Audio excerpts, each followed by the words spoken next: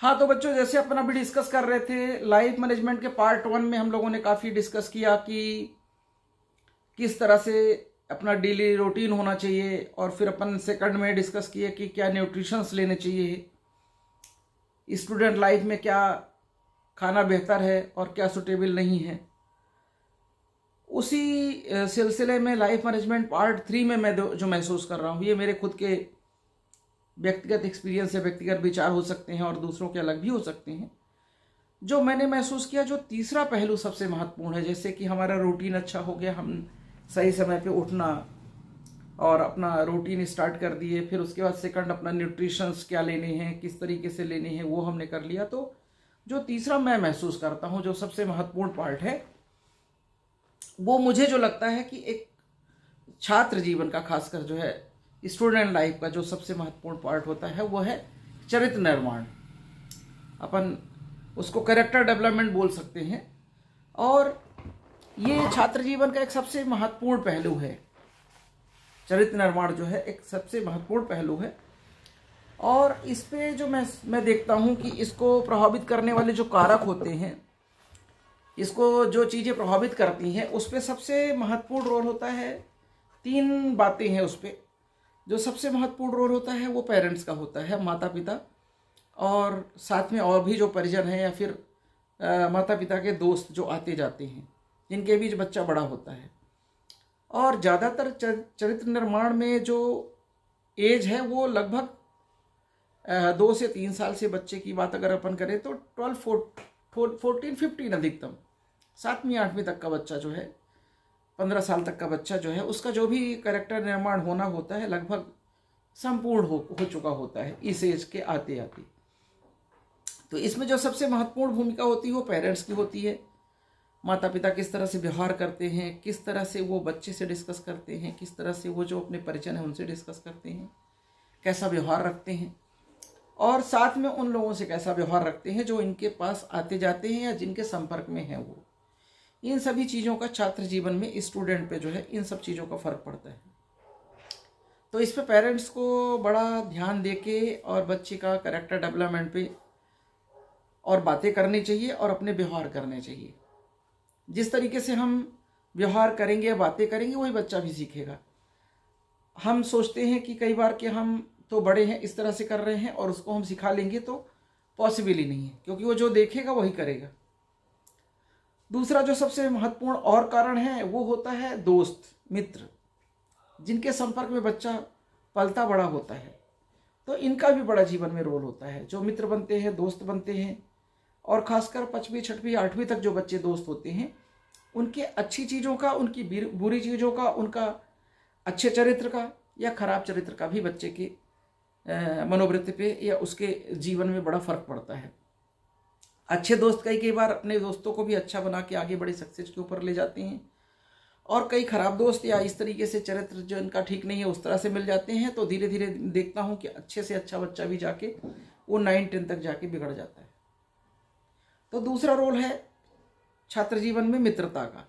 तो बच्चों में डिस्कस करूँगा कि मित्र का चुनाव बड़ा सोच समझ के करिए दोस्त जिसको भी बनाए तो बहुत पहले सोचें, समझें, परखें, और उससे विचार आपके जब मिलें और वो, और सबसे जो ज़्यादा बच्चों में इसका फ़र्क पड़ता मैं देखा कि उसके पास, ये खासकर फिफ्थ सिक्स सेवन एट के जो बच्चे हैं कि उसके पास गाड़ी से छोड़ने वाला कोई आदमी है, वो थोड़ा सा पैसे रखता है, वो अच्छे कपड़े पहनता है और वो अच्छी साइकिल लेके चलता है तो उससे लोग अट्रैक्ट होकर उससे दोस्ती कर लेते हैं।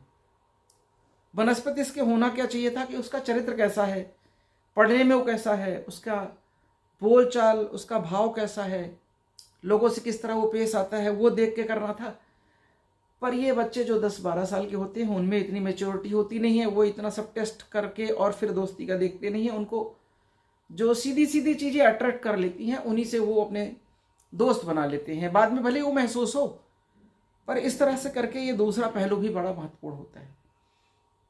जो तीसरा पहलू प्रभावित कर रहा है, इस समय मैं देख रहा हूँ ये मोबाइल और मीडिया बहुत ज़्यादा प्रभावित कर रहा है बच्चों को। तो मोबाइल से दूरी थोड़ा सा बनाने की ज़रूरत है, क्योंकि क्या होता है, जिस तरीके से चीज़ें वो वहाँ देखते हैं, जैसे उनको चीज़ें परोसी जाती है, उसी तरह वो करने का प्रयास करते हैं। जैसे अभी हाल ही में मैं कई सारे तीन से चार महीने में मैं देख रहा हूँ कि जो फिल्मी हीरो हैं, हम लोग के समय भी फिल्मी हीरो हुआ करते थे तो हम लोग फ़िल्म देख के या उनको देख करके जिस तरह वो काम करते हैं उस तरह काम करने की इच्छा पैदा होती है कि हम भी उस तरह से करें, क्योंकि वो फ़िल्म के तो हीरो हैं, वो अपनी ज़िंदगी के भी कुछ लोग हीरो उनको बना लेते हैं। तो आजकल के हीरो क्या कर रहे हैं, मैं देख रहा हूँ गुटखा तम्बाकू शराब, जुआ, इसका प्रचार कर रहे हैं।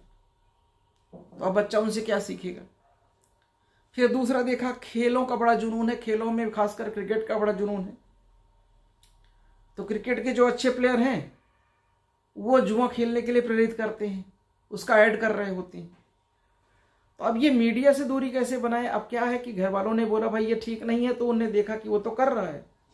तो कई बच्चे तो बहस भी कर देंगे कि, भाई, वो हीरो देखो कर रहा है, वो नेशनल टीम का देखो, प्लेयर ऐसा कर रहा है तो वो जब कर रहा है तो क्या फिर गलत है? अब वो उस उम्र के बच्चों को इतनी समझ नहीं होती है कि वो तो पैसे लेके उसका ऐड कर रहा है। वास्तविक जीवन में वो ऐसा नहीं कर रहा है। वो केवल उसका प्रचार करने के लिए पैसा ले रहा है। लेकिन इन चीज़ों का बच्चों की ज़िंदगी में बड़ा फ़र्क पड़ता है। फ़िल्मों का, फ़िल्म है, आपके सीरियल्स हैं, इनका बड़ा फ़र्क पड़ता है। जैसे आज मैं पिछले दस सालों के अंदर देखा, बदलाव जो है बहुत सारा आ गया है। पहले भी फ़िल्में होती थी जिसमें मनोरंजन होता था और बिना एक भी लड़ाई झगड़े के पूरी फ़िल्म खत्म हो जाती थी। आज तो देखिए, हर फ़िल्म में सिर्फ़ लड़ाई, झगड़ा मार धाड़ और जितनी भी गलत चीज़ें आप कह सकते हैं, जिनकी आप कल्पना भी नहीं करते, वो पूरी चीज़ें फ़िल्म में रहती हैं। फ़िल्म में तो छोड़ दीजिए सीरियल आते हैं आजकल। उन सीरियलों में पूरी चीज़ें उसके अंदर परोसी जा रही हैं। अब आप ये समझिए कि हम किसी को आँखों से इस तरह चीज़ें दिखाएँगे और फिर कल्पना करेंगे कि वो करेगा नहीं तो कैसे पॉसिबल है? सोचने की बात है ना? हम सुनवा रहे उसको बार बार बार बार बार बार, राम राम राम राम सुनवाएँगे तो उसका फ़र्क आएगा। और बार बार बार बार उसको हम गाली सुनवा रहे हैं, अबे ये वो तो वो, जिस तरह से फ़िल्मों में या सीरियलों में होता है वो सुन रहा है तो फिर क्या करेगा? उसका रिफ्लेक्शन होगा। हम भक्ति दिखाते हैं, अच्छे संस्कार दिखाते हैं, बड़ों का सम्मान, आदर और अनुशासन दिखाते हैं, ब्रह्मचर्य दिखाते हैं। सब माताएँ, जितनी भी दुनिया में स्त्री जाति है, बड़ी है तो माँ है, बराबर की बहन है है ना? और पत्नी है, ये दिखाते हैं तो उसका फ़र्क पड़ता है।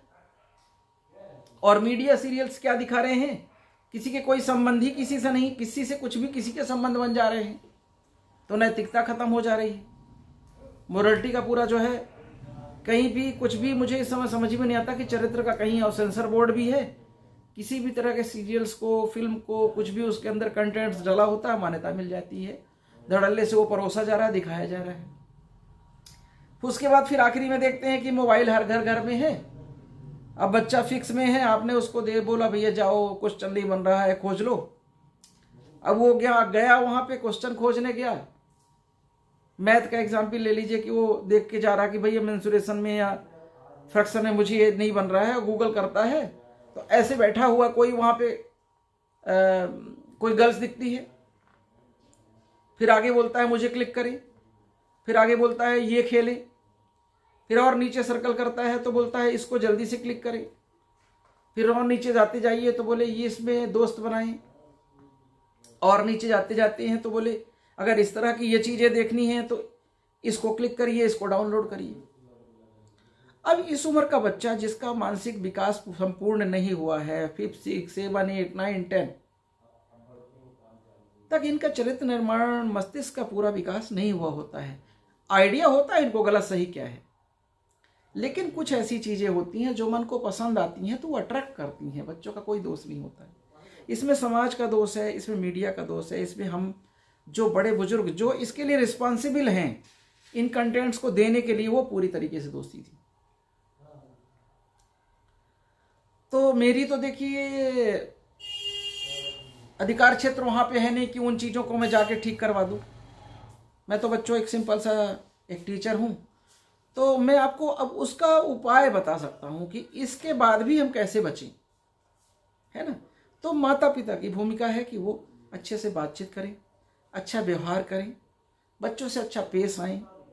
खुद भी आप करके बात करें। हम कई बार तुम तुम तुम तुम बोलते हैं बार बार हम बोल क्या रहे तुम तुम बोल रहे हैं और बच्चों से बोलते हैं कि मुझे वो, आप कहे पे, के पुकारे कैसे संभव है? अच्छा माहौल रखें। पढ़ाई कम करें, चलेगा लेकिन उसका चरित्र उसका बातचीत का तौर तरीका और लोगों के सामने पेश आने का तरीका बेहतर होना चाहिए। देखिए, आज दुनिया बदल गई है। जो भी थोड़ा सा मेहनती है और उसका एटीट्यूड बिहेवियर ये सब अच्छा है, सबको काम बहुत सारे मिलने वाले हैं। स्किल्स थोड़ा भी सीख जाएगा तो उसको काम बहुत सारे मिलने वाले हैं। जीवन यापन के लिए पैसों की तंगी किसी को नहीं आने वाली।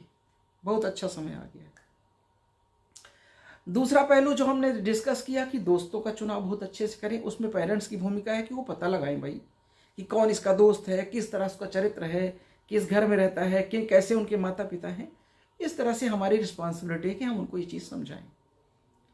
तीसरा चीज़ क्या है कि हम, जैसे हमने मीडिया की बात की, अभी हमने सीरियल्स की टीवी की बात करी तो इनको देखिए हम क्या है कि आप और हम, समाज के बहुत छोटे तबके के लोग हैं। वहाँ सेंसर बोर्ड है, सरकार है, गवर्नमेंट है, ये उनके काम है। हम उनसे रिक्वेस्ट ही कर सकते हैं और कुछ नहीं कर सकते हैं। होता है, पॉसिबल तो ठीक है। अब इन्हीं परिस्थितियों में हम क्या कर सकते हैं? तो सबसे पहला तो क्या करिए? इस तरह से जितने भी ऐप हों, कभी डाउनलोड ना करें। सिर्फ़ अपने काम की चीज़ों को रखिए। जो आपका एक दो कुछ जैसे पढ़ने में कोई हेल्प मिल सकती है तो वो चीज़ें रखिए। कितने मैसेज आए उसको समझिए मत। इग्नोर करिए। आदत बनाइए। अपने आप को स्ट्रांग बनाना पड़ेगा। लड़ाई झगड़े वाली फ़िल्म है, इस तरह से उठपटांग कोई करेक्टर वाली फ़िल्म है, उसको ये समझिए माइंड में ऐसा समझिए कि ये तो हमारे खिलाफ है, ये सही नहीं है तो दिखाया जा रहा है। कई कई बार हम भाव विभोर हो जाते हैं, देखते देखते देखते देखते, ऐसा महसूस होता है, बिल्कुल प्रैक्टिकल चल रहा है ये चीज़ें। तो हमको सबको स्टूडेंट को खासकर, बच्चों, तुम लोगों को, ये महसूस करना है कि सीरियल बनाने वाला पैसा कमाने के लिए सीरियल बना रहा है और टीआरपी बढ़ाने के लिए इस तरह की चीज़ें कंटेंट्स इसमें डाल रहा है। वास्तविकता नहीं है ये। और आप जब समझदार बन जाओगे तो आपको कोई बेवकूफ़ नहीं बना पाएगा, चाहे वो मोबाइल वाला हो, चाहे मीडिया वाला हो। सब जगह पे आज चाहे फेसबुक की ट्विटर और पता नहीं क्या क्या तो आ गया है। इन सब में सिर्फ़ वही एड वही काम, अच्छी चीज़ें कम दिखाता है, गलत चीज़ें ज़्यादा दिखा रहा है। इसी से समाज हमारा बर्बाद हो रहा है। और बच्चे तो क्या है कि बच्चे तो भगवान का रूप होते हैं। उनको सही गलत की जानकारी होती नहीं है और वो उस दलदल में फंस जाते हैं कई बार।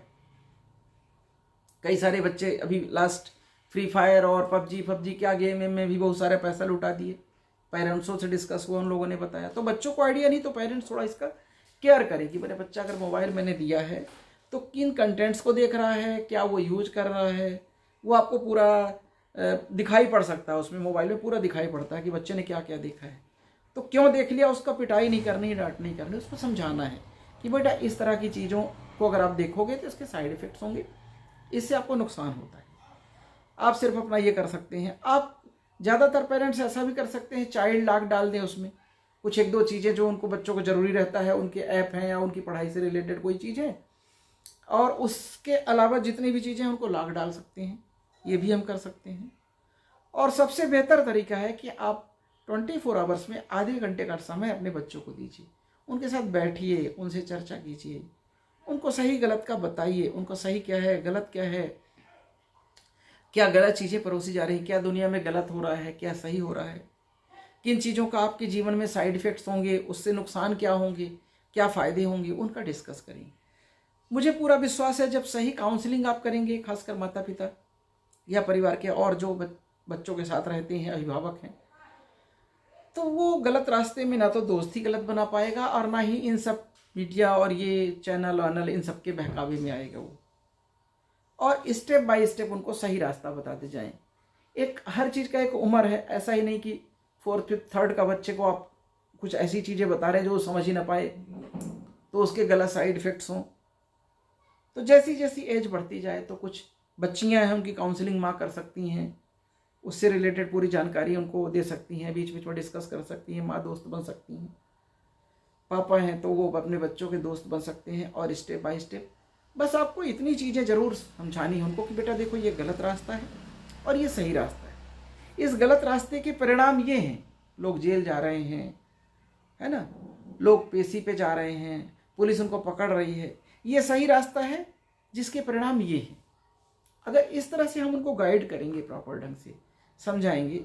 तो एक दिन में तो कोई चमत्कार नहीं हुआ कि आपने आज एक दिन बैठ लिया, उनको समझा दिया और उनसे डिस्कस कर लिया तो कोई काम होने वाला रेगुलर बेसिस पे आप ये टाइम बना लें। कुछ ऐसे पेरेंट्स हैं जो बाहर रहते हैं, हफ़्ते में आते हैं तो सैटरडे, संडे दो दिन उनके साथ एक घंटे बैठ कर डिस्कस करें। जब भी आपको समय मिले तो उनसे बातें करें। दुनिया की बातें दिखा सकते हैं, हम उनके एग्ज़ाम्पल रख सकते हैं कि देखो, इस तरह से इसने काम करा तो देखो इसको ये परिणाम मिल गया। इस तरह से करके उनकी हम माइंड मेंटल डेवलपमेंट कर सकते हैं। और आजकल तो बच्चे बड़े जल्दी जो है मेच्योर भी हो रहे हैं, कम उम्र में ये चीज़ें समझ जा रहे हैं और मेच्योरिटी लेवल भी ज़्यादा आ रहा है। तो लगभग दस पंद्रह साल पंद्रह साल तक के बच्चे चीज़ें समझना शुरू कर देते हैं और सही ढंग से उनको हम गाइड करें तो वो समझते हैं, मानते हैं, कहना ही मानते हैं। तो बच्चों, जैसे कि पहले आपने लाइफ मैनेजमेंट के पार्ट में देखा तो आपको इसका टाइम टेबल बनाइए।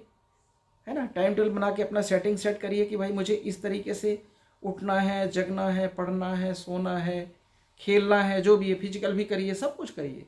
एक सिस्टमेटिक लाइफ का बनाया, बनाना है आपको। तभी तो आपको लाइफ आपकी अच्छी होगी। फिर दूसरे स्टेप में आपको न्यूट्रिशंस क्या क्या आपको चाहिए? ज़्यादा खाना भी नहीं खाना है। ज़रूरत के लिए भोजन मिल जाए।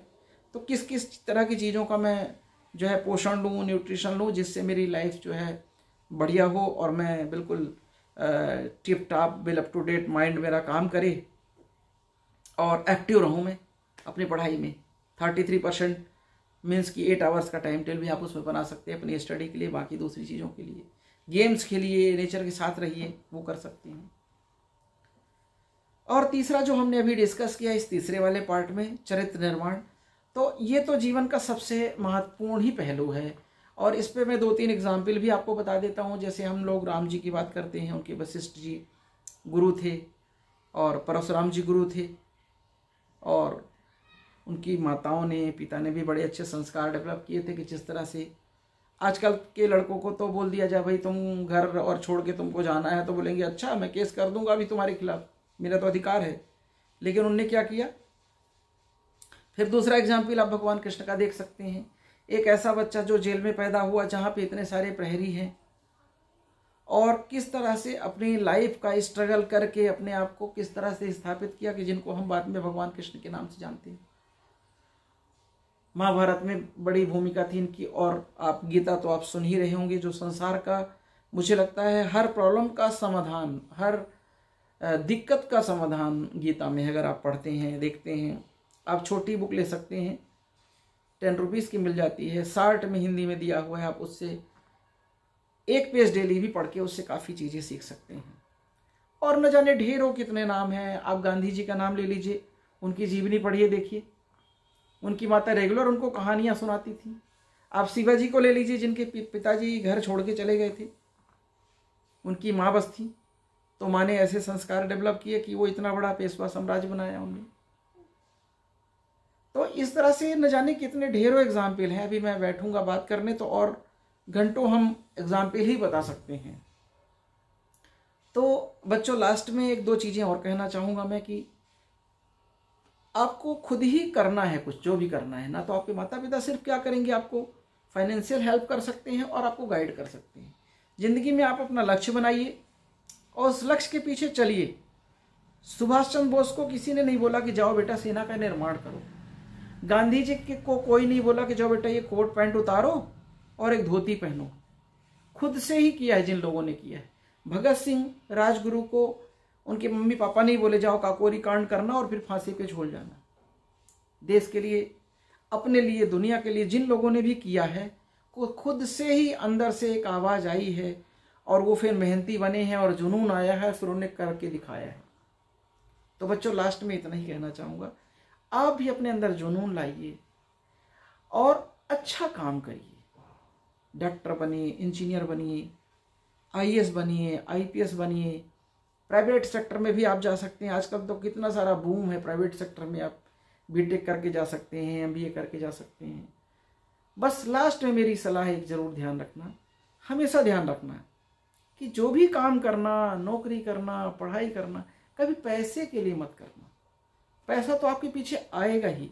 आपको सुविधाएँ मिलेंगी अगर आप डॉक्टर बनते हैं तो आपको सैलरी मिलेगी, आपको पेशेंट, आपको फ़ीस भी देंगे। लेकिन आप कभी ये लक्ष्य बना के पढ़ाई मत करना कि मुझे पैसा कमाना है। क्योंकि जब हम अपने लक्ष्य को इंसानियत से, मनुष्यता से हटा देते हैं तो हम फिर मनुष्य नहीं रह जाते हैं। हम जानवर बन जाते हैं। हम इंसान नहीं रह जाते जन, जैसे कि एक छोटा सा, अभी हाल ही में एक बच्चा सेलेक्ट हुआ नीट में। उसको बार बार मैं समझाता हूँ कि डॉक्टर बनना। फाइव ईयर बाद एमबीबीएस तुम्हारा कंप्लीट हो जाएगा। मेरा स्टूडेंट है। लोगों की सेवा करने के लिए डॉक्टर बनना। बीमारी लोगों की हटानी है। पैसे तो आएँगे ही। इसलिए प्रिस्क्रिप्शन मत लिखना, बहुत सारी दवाइयाँ मत लिखना कि तुमको फ़ायदा हो। कभी इस तरह का टेस्ट मत लिखना कि तुमको पैथोलॉजी वाला कमीशन दे। कभी इस तरह की दवाई मत लिखना कि दवाई वाला तुमको कमीशन दे। तुम्हारी जितनी ज़रूरतें हैं, उससे दस गुना ज़्यादा तुम अगर सही रास्ते से भी चलोगे ना तो भी तुमको मिल जाएगा। इतना सारा स्कोप है, मनुष्यता की सेवा पेशा तुम्हारा है डॉक्टर बनोगे। लोग अपने आप तुमको सब दे के चले जाएँगे। तो पवित्र विचार रखना अपने बस। इंजीनियर बनना तो पवित्र विचार रखना कि मुझे अच्छा काम करना है समाज के लिए, कुछ ऐसे आविष्कार करना है मुझे। आई बनना तो कमीशन खोरी मत करना, फ्रॉड मत करना। खुद ही शासन तुमको इतने सारा बढ़िया बंगला, बढ़िया गाड़ियाँ तुम्हारा, तुमको देंगी। इतना सारा सैलरी तुम्हारी होगी, नौकर चाकर सब होंगे। ज़रूरत क्या है तुमको गलत करने की? ईश्वर ने इतना अच्छा सीधा सा रास्ता, साधारण सा सच्चा सा रास्ता बनाया है। आप आई बनते हो आईपीएस बनते हो, देश की सेवा करने का मौका मिलता है। दुनिया में आपके भारत की बात अगर करते हैं तो जो भी लोग हैं, जितनी योजनाएँ हैं, जनता के लिए कीजिए, काम कीजिए। कुछ ऐसा करके जाइए कि जिस दिन आप रिटायर हों तो आपको गर्व महसूस हो कि हाँ इस जीवन में मैंने जो है, ये अच्छे अच्छे ये ये काम किए हैं। ये महसूस ना हो कि हमने तो यार पता लगाना पड़े कि क्या अच्छा किया था। तो ये तो दो तीन हमने एग्ज़ाम्पल दिए। हज़ारों पैसे हैं बच्चों। हज़ारों पैसे हैं। कोई भी काम आप सेलेक्ट कर सकते हो। उसमें आप सिर्फ़ एक चीज़ का समावेश ज़रूर करना। संस्कारों का, अच्छे विचारों का। और इस चीज़ को हमेशा याद रखना कि मैं आया हूँ, बच्चा हुआ हूँ, युवा होऊँगा भी मैं। फिर मैं प्रौढ़ होऊँगा और फिर मेरी मृत्यु भी होगी। जिस तरह से मैं यहाँ जन्म लिया हूँ, इसी तरह से मेरी मृत्यु भी होगी।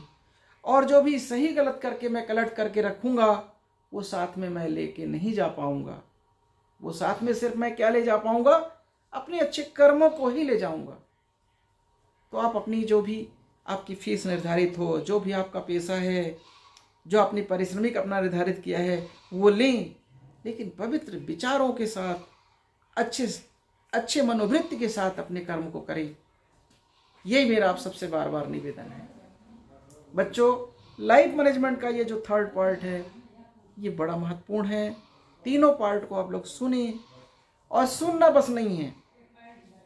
मैं अपने आप को तभी ये महसूस करूँगा कि आपका, आपको कुछ भी मैं थोड़ी सी मदद कर पाया।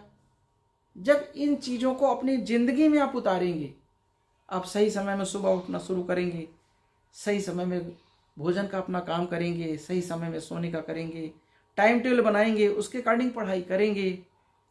और लास्ट वाली जो बातें मैंने करी है कि जिस भी पैसे में जाएँगे वहाँ ऑनेस्टी से काम करेंगे। तभी मैं समझ पाऊँगा कि मेरे 600 बच्चे हैं विद्यालय में।